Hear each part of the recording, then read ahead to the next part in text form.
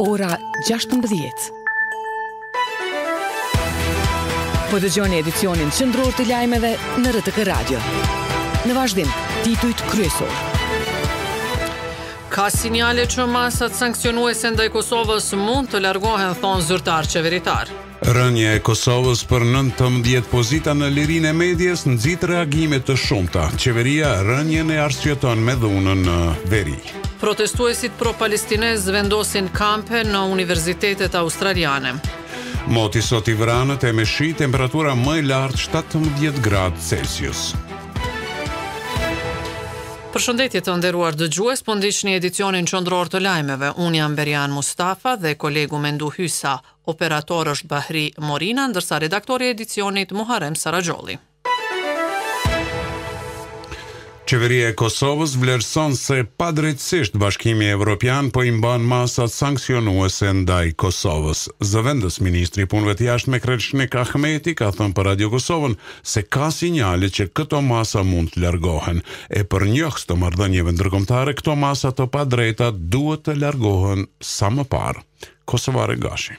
Bashkimi Evropian vazhdon të mbajë masat sanksionuese ndaj Kosovës, edhe pse Kosova sipas qeverisë i ka përmbushur të gjitha kushtet e kërkuara nga Bashkimi Evropian. Zëvendësministri i Punëve të Jashtme Kreshnik Ahmeti për Radio Kosovën ka thënë se ka sinjale që masat sanksionuese ndaj Kosovës mund të largohen. Ne po presim sepse të gjitha çka kanë qenë në anën tonë për t'u bërë janë bërë tashmë. Ne kemi organizuar votimin atje në mënyrë që të thirren zgjedhjet. Kosova duhet të mos ketë masa nga Bashkimi Evropian. Masa të tilla janë të duhura për një vend agresor siç është Serbia. Për njohësit e marrëdhënieve ndërkombëtare masat e vendosura nga BE-ja kanë qenë të gabuara dhe si të tilla duhet që sa më parë të largohen. Studiuesi Abit Hoxha për Radio Kosovën ka thënë se BE-ja duhet t'i largojë ato masa megjithëse vlerëson se ndërmjet Kosovës dhe Bashkimit Evropian po mungon një komunikim i mirëfilltë. Komunikimi me BE-në në Kosovë është përshkallëzu për të keq.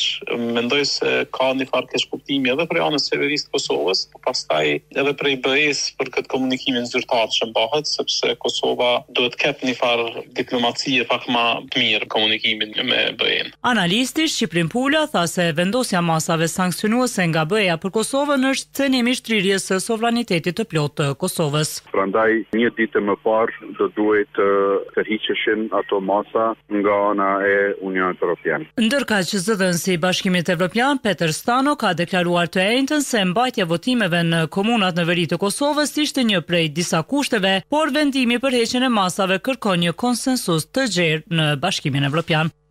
E Kosova po vazhdon të lobojë me intensitet të lartë për anëtarësimin e saj në Këshillin e Evropës. Edhe për këtë çështje ka folur për Radio Kosovën zëvendësministri i Punëve të Jashtme Kreshnik Ahmeti, sipas të cilit nuk ka arsye që kjo çështje të mos jetë në agjendën e gjashtëmbëdhjetë dhe shtatëmbëdhjetë majit. Raport nga Albana Bajrami.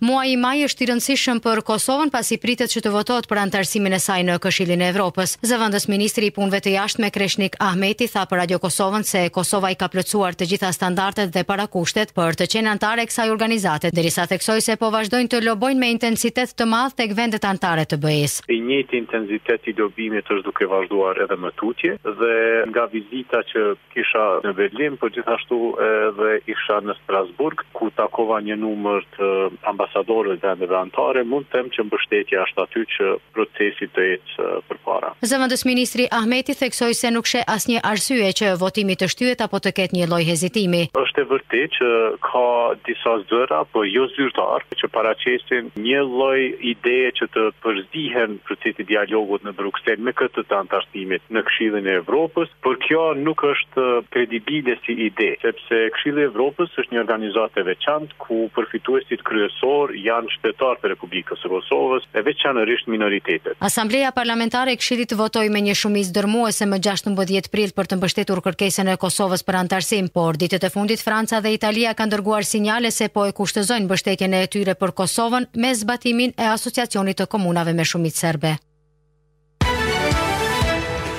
Sot është dita botërore e lirisë së shtypit, e cila është caktuar që nga viti 1993 nga Asambleja e Përgjithshme e Kombeve të Bashkuara. Kjo ditë Kosovën e gjen 19 vende më poshtë në indeksin botëror të lirisë së shtypit të organizatës Reporterët pa Kufij për këtë vit. Në raportin e publikuar sot thuhet se sulmet kundër gazetarëve janë rritur në kohën e tensioneve politike ndërmjet Kosovës dhe Serbisë, sidomos gjatë raportimeve në veri të vendit. E presidentja e vendit Vjosa Osmani ka deklaruar se liria e shtypit është e drejtë themelore e njeriut, thelbësore për demokracinë dhe të vërtetën. Rënien në renditjen e sivjetme në indeksin e lirisë së shtypit, zëdhënësi i qeverisë Përparim Kryeziu arsyeton se viti nuk ka qenë i lehtë marrë parasysh situatën e sigurisë nga ngjarjet në veri. Raport nga Arbenita Marmullaku.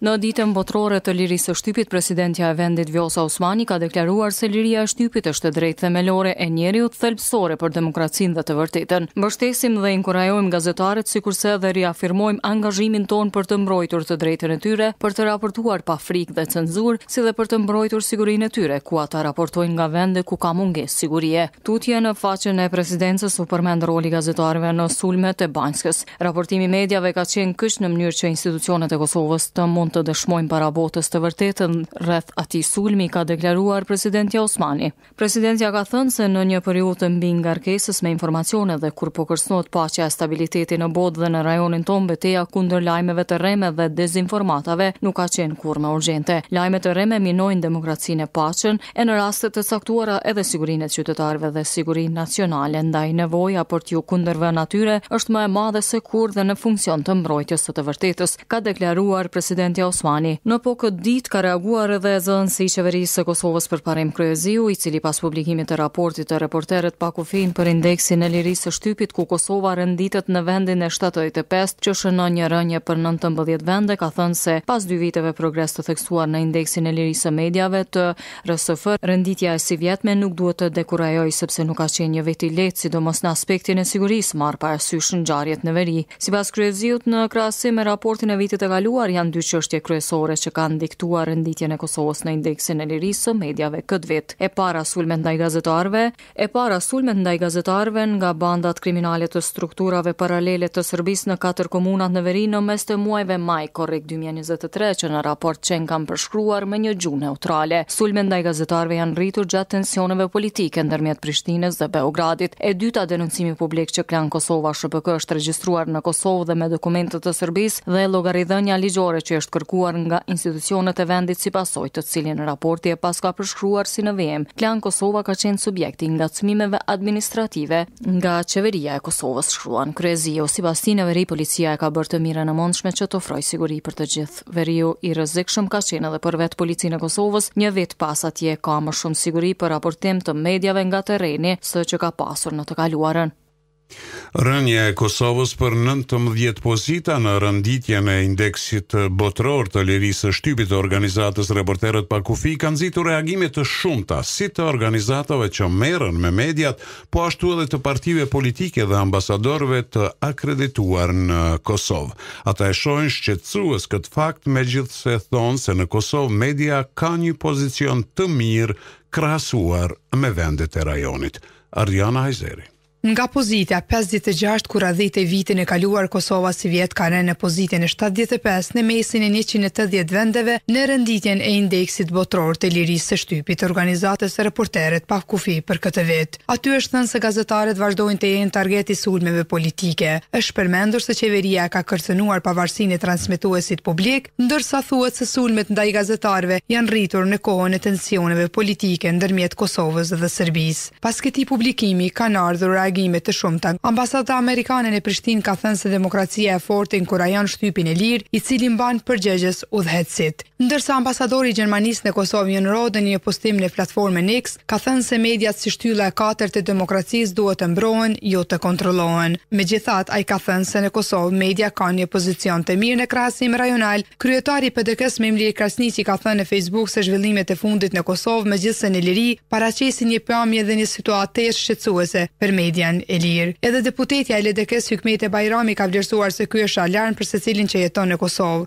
Reagime për raportin kanë ardhur edhe nga kryetari i AAK-së Ramush Haradinaj. Sunduesve u pengon liria e shprehjes, liria e mediave, ka shkruar Haradinaj, duke shtuar se është shqetësuese tendenca e pushtetit për kontroll ndaj mediave. Këshilli i Mediave të Shkruara të Kosovës ka shprehur shqetësimin për përkeqësimin e lirisë së medias në Kosovë, ndërsa ka thënë se përpjekjet e autoriteteve për kontroll janë të dëmshme dhe të papranueshme.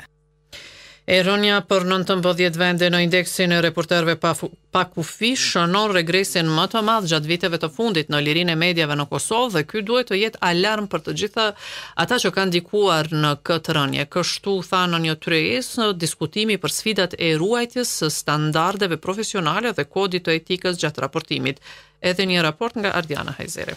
Asociacioni i Gazetarëve të Kosovës në bashkëpunim me Këshillin e Mediave të Shkruara të Kosovës dhe Komisionin e Pavarur për Media ka shënuar Ditën Botërore të Lirisë së Shtypit. Kryetari i AGK-së Xhemajl Rexha tha se rezultatet e Indeksit të Reporterëve pa Kufi janë alarm për institucionet. Mëngjesi i sotëm në fakt ka nisur me një raport të Reporterëve pa Kufi që në vitet e fundit shënon regresin më të madh të lirisë së mediave në Kosovë. Duhet të jetë alarm për ata që kanë ndikuar në forma të ndryshme në këtë rënie. Dhe këtu më së shumti kam fjalën për institucionet e Kosovës dhe veçanërisht për Qeverinë e Kosovës. Shefi i Misionit të OSBE-së në Kosovë, Mikael Davenport, tha se në rënien e Kosovës në indeksin e raporterëve pa kufi faktor kryesor janë sulmet ndaj gazetarëve të cilat kanë ardhur edhe nga zyrtarët. Siç është raportuar nga AGK-ja, kemi pasur shqetësime të ushtrimit të kërcënimit nga zyrtarët për minimin e punës së mediave. Ndërsa, kryetari i Komisionit të Mediave të Shkruara të Kosovës, Imer Mushkolaj, tha se rezultatet e këtij raporti janë shqetësuese dhe se qasja e gabuar e përfaqësuesve të institucioneve ndaj gazetarëve po minon punën e tyre. Të gjitha materialet dhe intervistat ekskluzive tani i gjeni në kanalin zyrtar në YouTube. RTK Radio. Iniciativa për Progres publikoi raportin Performanca e qeverisë në realizimin e prokurimit. Sipas raportit, institucionet qeveritare nuk i kanë realizuar as gjysmën e aktiviteteve të prokurimit të parapara për vitin 2023. Pajtim Çuni.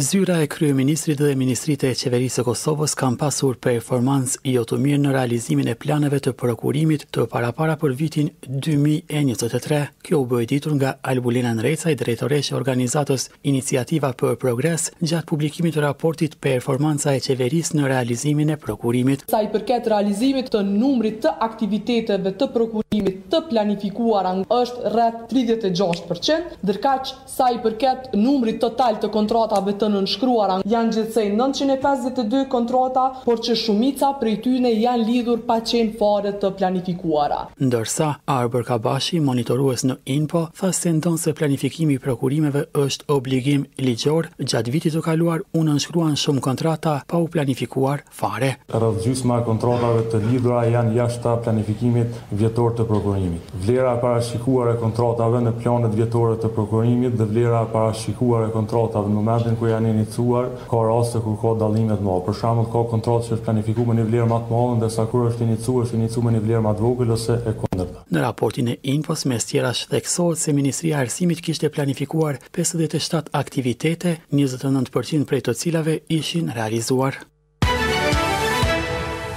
Gjykata ka dënuar Enver Sekiraqën me njëzet e pesë vite burgim për nxitje në vrasjen e policit Triumf Riza. Sipas gjykatës Agim Kuçi, të njëjtit do t'i llogaritet edhe koha e kaluar në paraburgim dhe arrest shtëpiak. Kryetari i Komunës së Prishtinës, Përparim Rama, ka thënë se është hapur dyqani i parë social në kryeqytet. Rama këtë e bëri të ditur përmes një postimi në rrjetin social në Facebook, duke shkruar se qytetarët në nevojë tani e tutje mund të furnizohen në këtë dyqan çdo muaj falas me produkte ushqimore e higjienike. Lajme nga bota. Qindra njerëz që protestuan kundër luftës së Izraelit në Gaza u mblodhën sot për të kërkuar që Universiteti i Sydney të largohet nga kompanitë që kanë lidhje me Izraelin duke duke i bërë jehonë thirrjeve të studentëve në SHBA, Kanada dhe Francë. Reuters shkruan se ndryshe nga SHBA ku policia ka hequr dorë me fo, ka hequr me forcë një numër të madh protestuesish sfidues pro-palestinezë, Në disa kolegje, vendet e protestave në Australi kanë qenë paqësore me prani të pakët policore. Turqia ka pezulluar të gjithë tregtinë me Izraelin për shkak të ofenzivës së saj në Gaza, duke përmendur tragjedinë e përkeqësuar humanitare në Rrip. Ministria turke e Tregtisë tha se masat do të jenë në fuqi derisa Izraeli të lejojë një fluks të pandërprerë dhe të mjaftueshëm mjaftueshëm ndihme në Gaza. Tregtia midis dy vendeve ishte me vlerë pothuajse shtatë miliard dollarë. Parashikimi i motit. Sot në Kosovë po mban mot me vranësira të shpeshta dhe intervale të shkurtra me diell, të cilat do të vazhdojnë edhe në pjesën e mbetur të ditës, e ku në zona të caktuara do të ketë edhe reshje shiu. Temperaturat maksimale, varësisht nga territori i vendit, do të lëvizin, do të arrijnë deri në shtatëmbëdhjetë gradë Celsius. Dëgjues të nderuar, këto ishin gjitha informacionet e përgaditura për këtë edicion lajmesh. Faleminderit për vëmendje, mirë mbetshi.